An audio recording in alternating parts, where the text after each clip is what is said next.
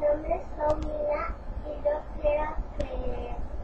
no contaminen la ciudad porque los árboles, los árboles